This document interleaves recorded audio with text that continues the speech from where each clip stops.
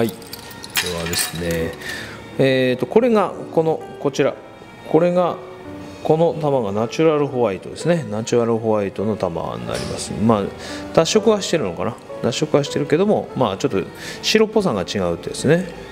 であとこの真ん中の玉。これ若干あの何ていうんですか、えー、ピンクっぽい、えー、ですね。でこうピンクですね。で白ちょっとピンクピンクみたいな感じになります。